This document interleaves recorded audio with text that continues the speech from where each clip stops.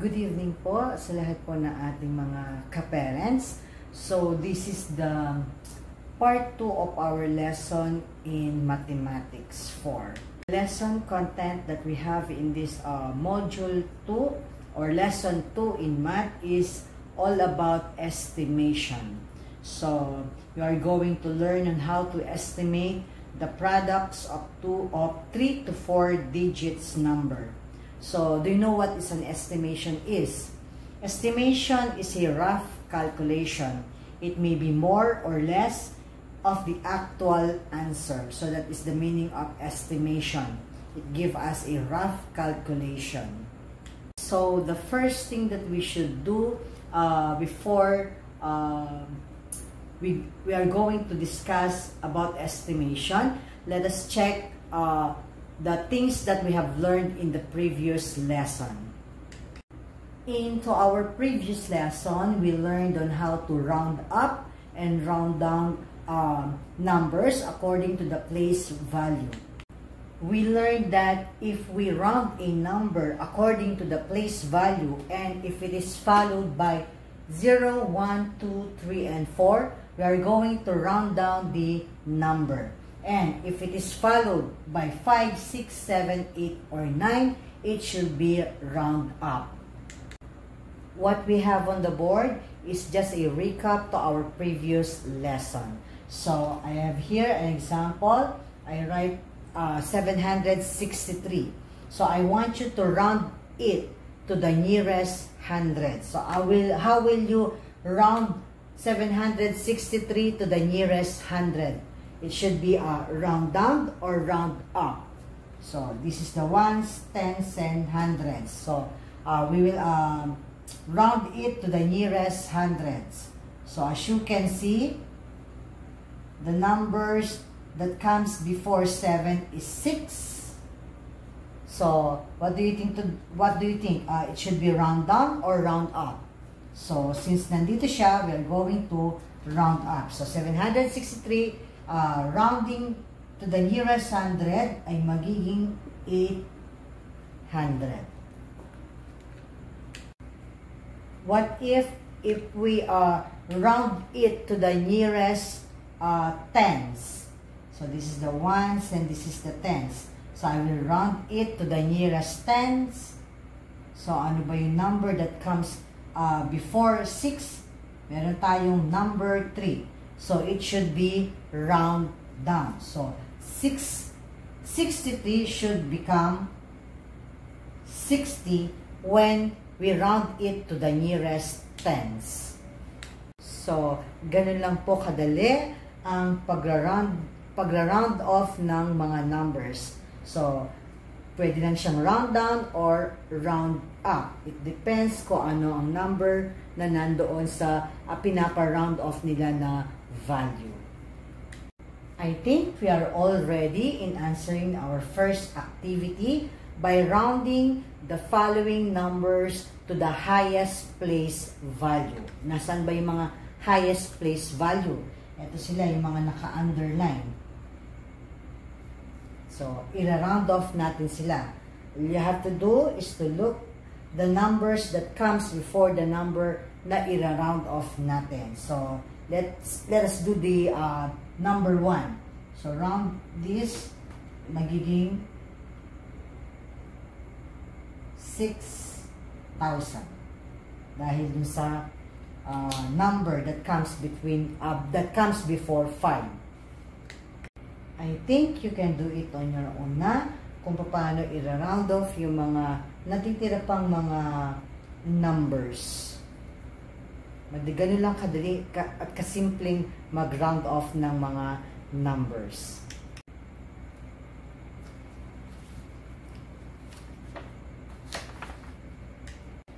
So let us now proceed to our proper lesson which is about estimating the product, the multiplicand, and the multiplier.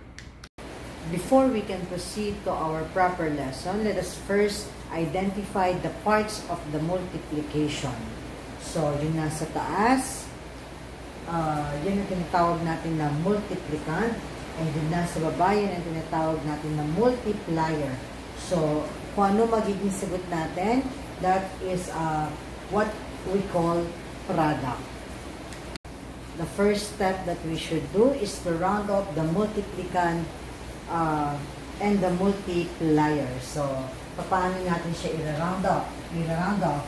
So, yung 3,255 magiging 3,000 na lang.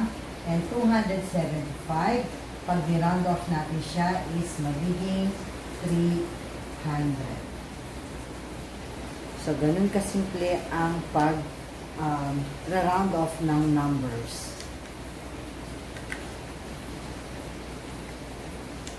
Step 2 that we should follow to get the estimated product of the given numbers, all we have to do is to multiply the rounded numbers. So, we're going to multiply the rounded numbers. So, after we uh, multiply the rounded numbers, ang magiging product na makukuha natin is 900,000.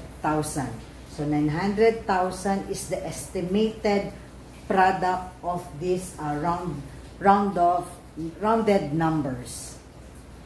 So, ipakita natin ngayon using the long method kung 900,000 nga ba talaga ang estimated sum, uh, estimated product nitong mga uh, given numbers dito. So, long uh, method ang gagamitin natin. So, after we uh, multiply these numbers, this is the final product that we get. So, 895,125 is close to 900,000, which is the estimated product. So, ganun po yung pagko-compare ng mga estimated product. Ito yung long method and this is the uh, short method using the rounded numbers. Take a look at this figure po. So, kung mapapansin po natin, um, mahaba po yung process uh, bago tayo o bago natin nakuha yung estimated product. So now, I will teach you the shorter way of multiplying with terminal zeros. So, papaiksiin po natin itong mahabang process na to to get the estimated product. And this is the short method in finding the estimated product of the given numbers. All we have to do is to count the numbers of zero. So, 1, 2, 3, 4, and 5. So how many zeros that we have? So all we have, all you have to do is to write down the numbers of zero. So meron tayong 5 the zeros. 1, 2, 3, 4, and 5. After counting and writing down the numbers of zeros in the factor that we have, all we have to do now is to multiply 3 times 3. So, the answer is 9. So, 900,000 na nakuha natin using the short method and the long method are the same. So, these are the other examples in estimating uh, the multiply the multiplicand multiplier and the product. So you can use this as your reference. I think we are all ready to do the activity 1. So let us do all together the number 1. So all we have to do is to round the multiplicand. So magiging ano siya?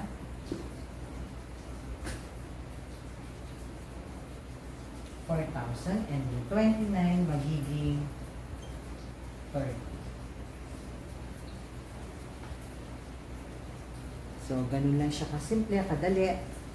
And now, you can do the other uh, given uh, problem.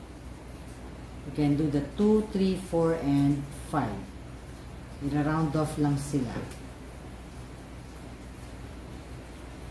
we can now also proceed uh, answering the activity 2. Ito siya. Meron na rin siyang sample. Madali lang siya.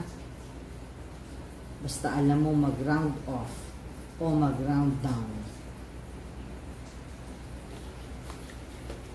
Let's try to answer uh, the number 1. So, 354, round up natin siya, magiging 400 times 29, ira-round off natin siya, so magiging 30. And the estimated sa a product is 12,000. So, gawin na namin ito using the short method so that we can uh, get the estimated product of the given number. So, marami na tayong pattern to do the activity 2.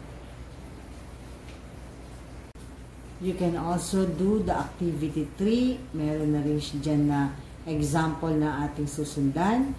At kanina dun sa discussion natin, pinakita rin natin on how to uh, uh, multiply the given factors using the long method and the short method. you can do it on your own now. You may now also proceed in answering the letter B all you have to do is to multiply the given factor. After multiplying it, round off ninyo sila. And then, kung saan ang ni-round off natin, kung saan sila malapit, uh, pipili tayo dito ng uh, sagot. Merong word na mabubuo dyan.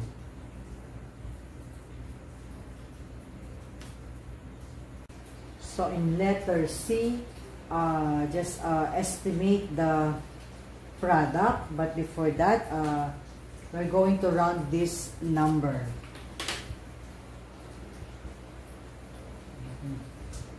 And then, magiging 30 siya.